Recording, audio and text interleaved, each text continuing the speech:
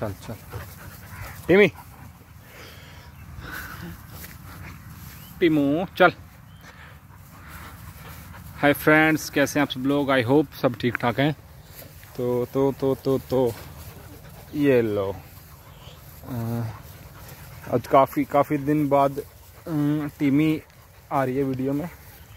और टीमी का आपको बता दूँ, जो मदर है, वो है चल चल चल। ये देखो मदर है इंपोर्ट की डायरेक्ट डॉटर ठीक है? मदर इम्पोर्ट की डायरेक्ट डॉटर है, और जो फादर है फादर भी इम्पोर्ट का डायरेक्ट सन है, ठीक है? दोनों ही साइड इम्पोर्ट लाइन हो गई।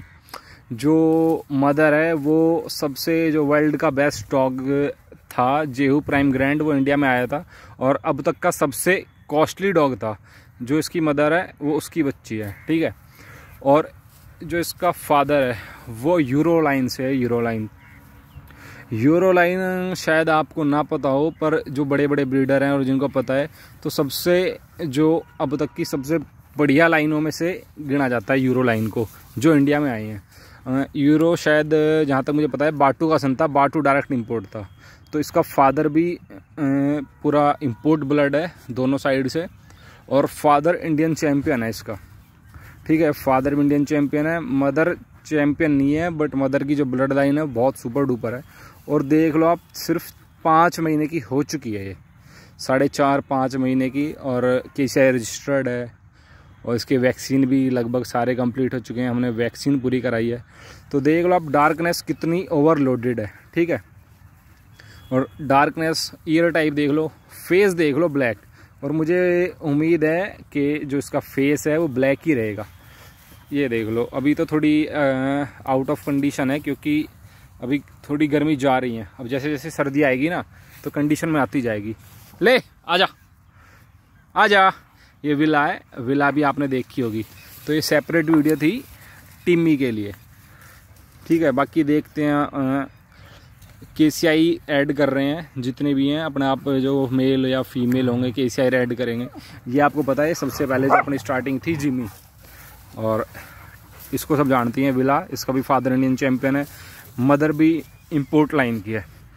तो आज की स्पेशल वीडियो है ये देख लो लोकल लोकल एक जो जर्मन शेपर्ड होता है मैं ये नहीं कहता कि वो मिक्स होता है बट बट बट काफ़ी काफ़ी ज़्यादा फ़र्क होता है लोकल में और इम्पोर्ट ब्लड में। आप ईयर कन्फर्मेशन ही देख लो इसका। ठीक है आपने देखे होंगे नॉर्मल बच्चे जो होते हैं कुछ आ, होते हैं वो भी बट वो बात नहीं होती जो इसमें है। डार्कनेस देख लो। शायद इसकी जो डार्कनेस है, वो विला से भी बहुत ज़्यादा है। और इसके ना भी थोड़े पैरों में मतलब हल्की सी दिक्कत है, जो कि अभी हम इसकी एक्सरसाइज करा रहा हूँ मैं।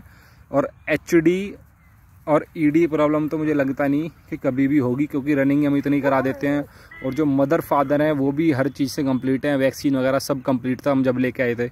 और हाँ इसमें प्लस पॉइंट ये था पिक ऑफ़ द लिटर बच्ची थी। जिसके पास बच्चे हुए थे, वो मेरे बिल्कुल खास दोस्त हैं। और उन्होंने बोला था कि, भैया, ये हैं बच्चे और आप सेलेक्ट करके ले जाओ, जौन सा बच्चा आपका दिल करे। ठीक है दोस्तों? है स्टॉक कोट मानता हूँ स्टैंडर्ड कोट है बट ये डबल कोट डबल कोट क्या डबल कोट जब स्टैंडर्ड है ही नहीं, जब एंगुलेशन टाइप नहीं है उसमें डबल कोट क्या करेगा? सिर्फ़ बाढ़ बाढ़ सिर्फ़ जो डबल कोट है, ये नहीं कि बच्चे ही बेचने हैं, हम स्टैंडर्ड भी तो मेंटेन करना है। अब ये नहीं कि आप सिर्फ़ बच्चे बेचने के लिए सिर्फ़ डबल कोट डबल कोट करते रहें। डबल कोट लॉन्ग कोट अब ये देख लो स्टैंडर्ड कोट और कन्फर्मेशन देख लो ईयर टाइप देख लो बट इम्पोर्ट ब्लड जो है, वो दिखता ही अलग है। ठीक है दोस्तों? बाकी चलो, कोई नहीं, ज़्यादा वैसे आपसे ये नहीं करूँगा, भाई टाइम वेस्ट हुआ हो। ले, आजा। शाबाश। फुल एक्टिव है। ये देख लो। डार्क रेड कलर है। बिल्कुल डार्क रेड कलर है। ठीक है दोस्तों please share subscribe please please share करो सब्सक्राइब भी करो। और कोई भी क्वेश्चन है तो मेरा नंबर है डिस्क्रिप्शन में, मैं आपको देता रहूँगा। और कल एक और वीडियो लेके आ रहा हूँ, कल या परसों, एक दो दिन बाद, जिसमें कि जो कि ब्लैक से रिलेटेड होगी, ठीक है? ओके गाइस थैंक यू और प्लीज़ शेयर एंड सब्सक्राइब